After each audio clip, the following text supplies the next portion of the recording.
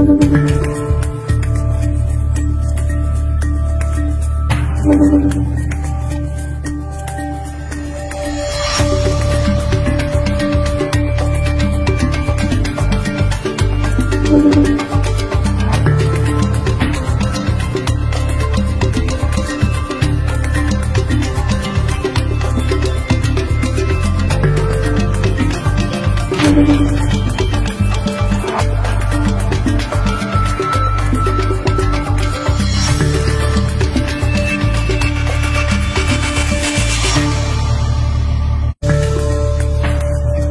Thank you.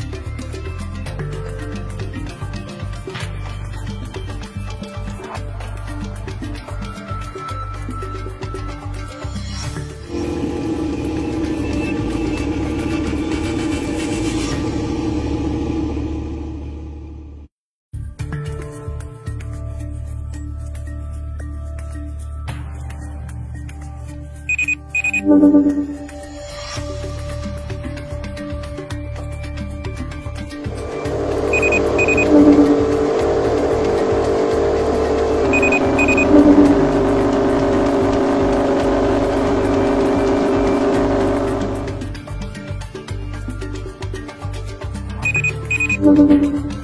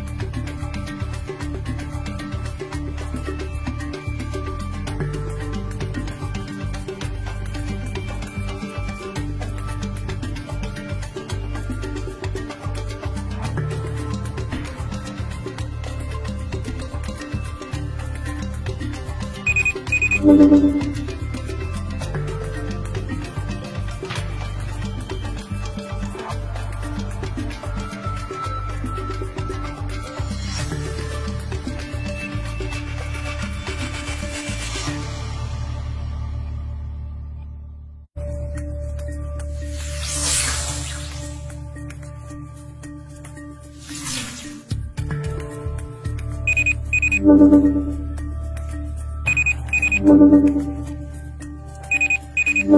you.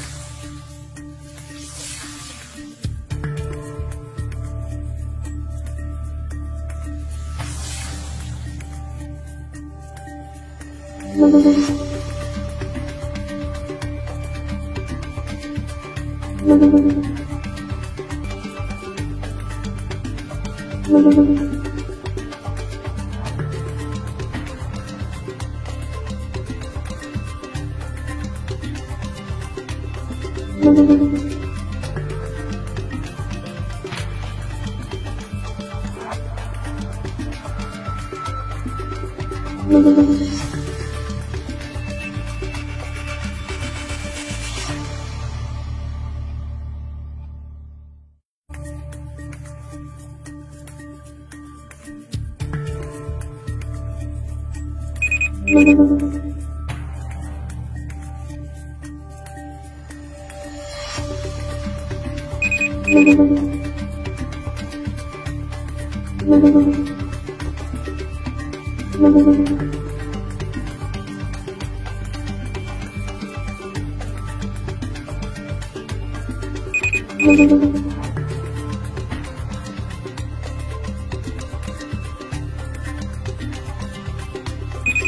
Thank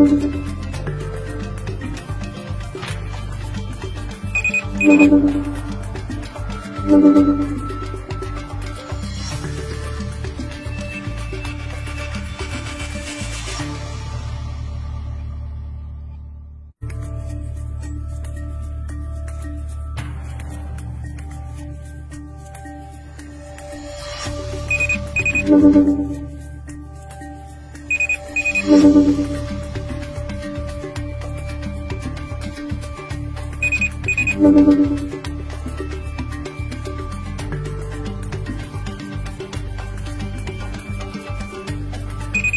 Thank you.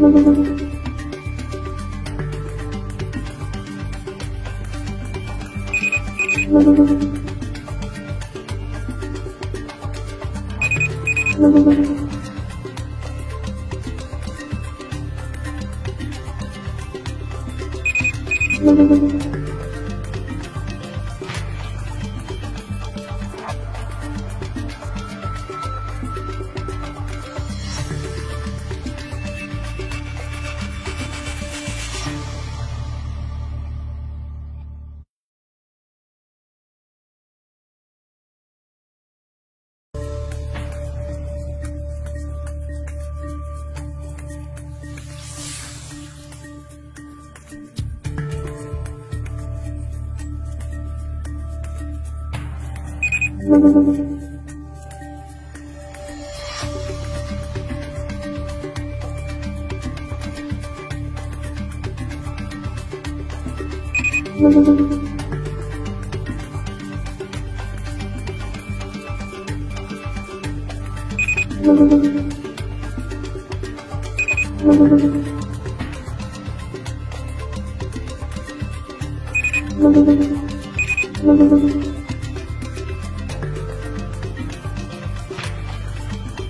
Let's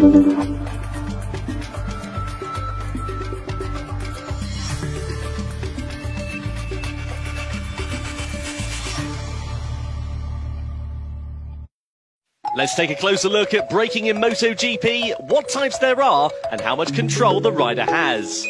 First of all, there are three types of braking force that every bike has. The front and rear brake, which are controlled by the riders, and then the engine brake as well. Can see, the front brake takes on the majority of the workload with 70% total braking force. The engine brake accounts for 20% and the rear brake, meanwhile, only accounts for 10%. The front brakes are 100% rider controlled and features two carbon brake discs and brake pads, important when stopping from over 320 kilometers an hour.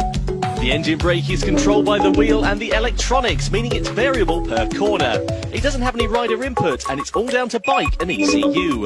Finally, the rear brake. It only accounts for 10% of stopping power, meaning a steel disc is suitable. It's 100% rider controlled, and riders can either use a lever on the right foot or a lever on the left handlebar. In the end, it all comes down to personal preference. Typically, when approaching the corners, riders have two options. They can choose speed and try to outrun their competition, but risk sacrificing accuracy and control, or they can rely on the brakes and corner as tightly as possible, but lose speed.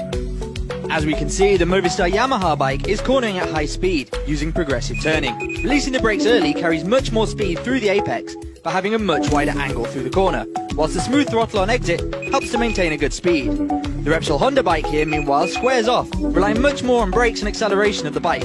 The rider releases the brakes later and accelerates hard out to the apex. The Movistar Yamaha rider takes a much wider racing line, going faster through the apex, giving him more time to lean and needing much less grip. The Repsol Honda rider, on the other hand, uses the fat part of the tyre, needing more grip for the tighter angle and timing the lead more precisely.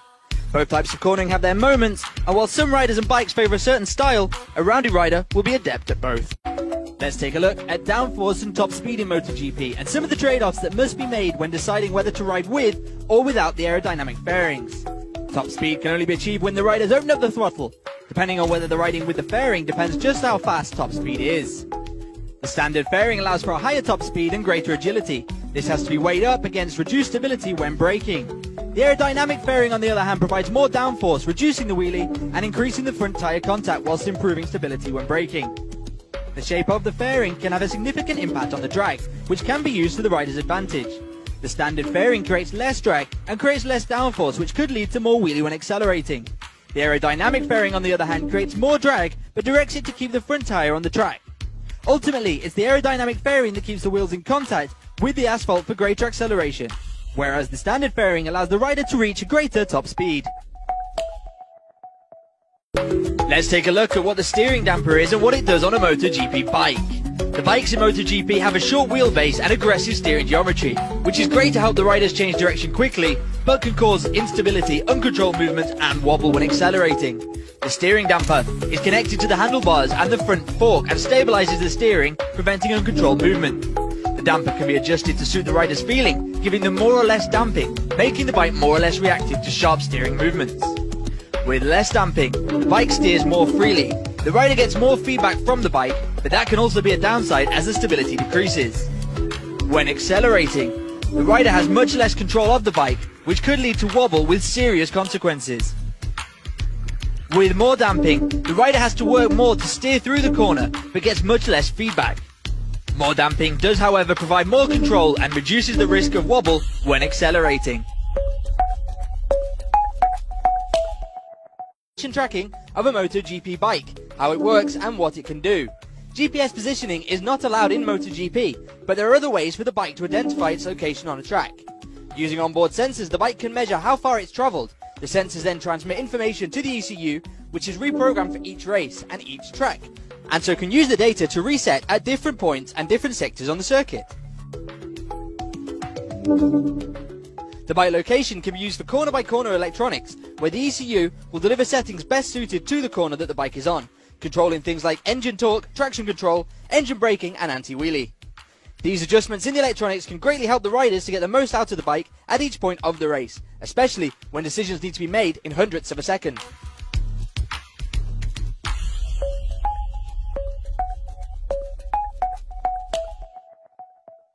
Take a look at oversteer and understeer in MotoGP. What is it, what's the difference, and what does it do?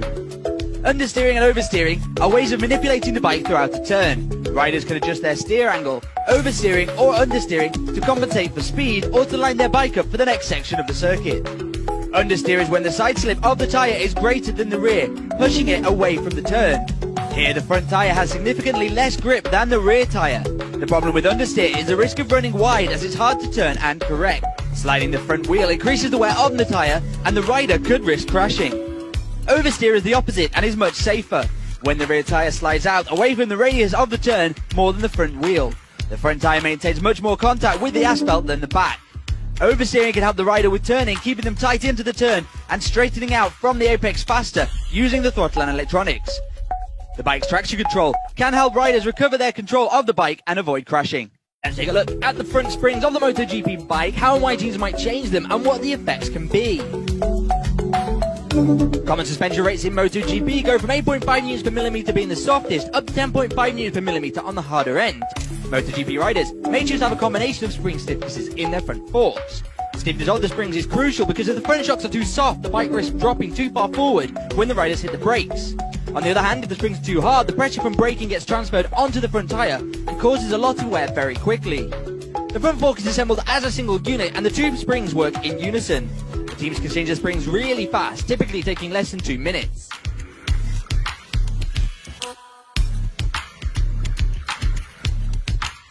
Riders can choose to combine springs in the front fork to achieve a more precise overall stiffness. That's how and riders choose their suspension stiffness in that front fork. Exhaust systems on a MotoGP bike, how they can be modified and what the results of those changes can be. The exhausts have two main purposes. Firstly, to remove the waste gases from the engine and also to draw air and fuel into the cylinder for burning.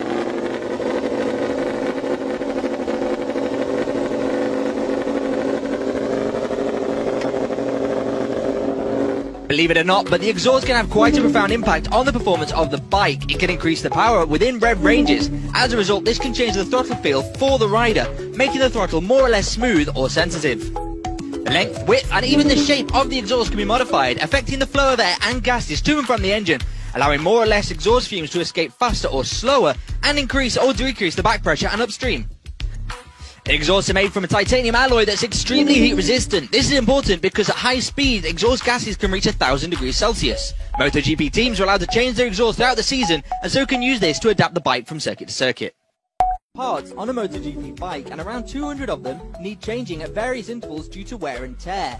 Let's take a look at some of the more important ones. Over an average race weekend, from FP1 to the end of the race, a rider can put in around 500 kilometers on their bike. Over this period, the teams have to change the oil, water, and chain. Every 1,000 kilometers, the teams have to replace the sprockets, clutch plates, and the carbon brake discs and pads. Every 1,200 kilometers, the teams must completely replace the wheels. Every 2,000 kilometers, or around 4 races, teams must completely remove and replace the engine. Every 4,000 kilometers, or around 8 races, just under half a GP season, teams have to replace the handlebars and seats. After around 9 races, half a GP season, the teams replace the bike's frame and swing arm. That's parts mileage in MotoGP. As much grip as possible, whilst preventing oversteer and high siding. The inertial platform in the IMU detects the lean angle, while sensors in the wheels detect the amount of wheel spin, indicating how much grip the tyres have and how much contact there is with the track. If the rear wheel loses traction, meaning the grip drops and the wheel starts spinning faster than the front one, the back wheel can swing out wide, causing oversteer. Should this happen, the sensors talk to the ECU, which cuts the power by cutting one of the cylinders, closing the electronic throttle, or reducing the ignition timing. This is important because if the bike were to suddenly regain grip, it could high side causing a crash and potentially injuring the rider. The teams can tailor the traction control to each rider and bike, as well as customizing it for every turn. As the grip decreases due to tyre wear, the speed, or the nature of the corner, the traction control increases the traction to maintain contact with the track. And that is traction control in MotoGP. Chang International Circuit in Thailand for the very first time. Racing at a new track can be difficult for the teams to set up the bike. What we do know though is that in Thailand it's hot and humid. The teams can therefore increase the size of the carbon brake discs to 340mm, allowing them to keep cooler. If the rider already uses a 340mm discs, then teams can add airflow intakes to direct the air to the brakes and keep them cool. The grip level is a big question mark for the Chang International Circuit, so the teams will be trying out different suspension hardnesses to improve the grip. Softer springs create more grip by transferring more of the bike and rider's weight onto the tyres. This can, of course, affect the wear of the tyres. For the long straights out of turns 1 and 2, as well as the tighter parts of the circuit, the teams might play with the length of the bike's wheelbase and height. Lengthening the wheelbase and lowering the height can affect how much the bike wheelies when accelerating away, but can affect the turning stability. Let's see this weekend how the teams set up the bikes for the PTT Thailand Grand Prix. As each track is a different length, the teams must carefully calculate how much fuel is used over a race distance. The amount of fuel that a bike uses can be electronically adjusted to fit the circuit, but the teams must use all 22 litres for maximum power, without, of course, running out before the finish line. Naturally, temperature affects the volume of the fuel, with the volume increasing in hotter climates and decreasing in colder ones. As a result, fuel is measured in weight by kilograms rather than by litre. For example, a full 22 litre tank will hold 16.5 kilograms of fuel at 15 degrees Celsius. At 25 degrees, the same weight of fuel would cause the tank to overflow, whereas at 5 degrees, the tank would be only 3 quarters full. So the teams have to adjust the amount they use based on ambient temperature. Teams are allowed to cool the fuel by up to 15 degrees below ambient temperature before the race to fit more in the tank, which leads to more power. The rider leans into a turn to create a centripetal force, forcing the bike through the turn and counteracting the centrifugal force, which pulls the bike and rider outwards. The rider starts the turn by counter-steering. Contrary to what you might expect, the rider actually steers in the opposite direction of the turn, causing the bike to lean into the corner. If the rider didn't do this and turn the handlebars into the turn without leaning at such high speed, they'd be thrown outwards due to the centrifugal force, like a high side and undoubtedly crashing.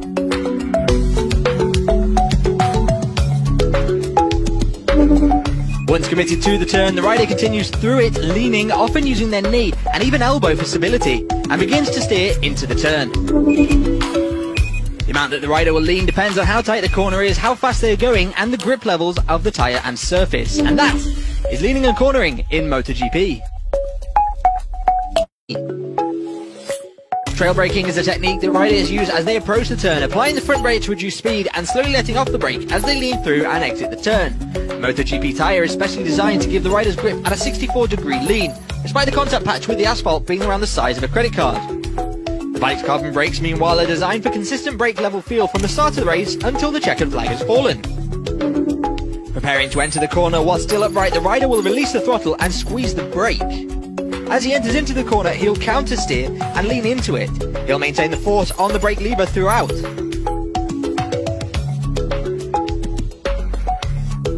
As long as the grip is good, he'll hold onto the brake for as long as possible as he approaches the apex before releasing the brake and opening up the throttle to accelerate away. And that is trail braking in MotoGP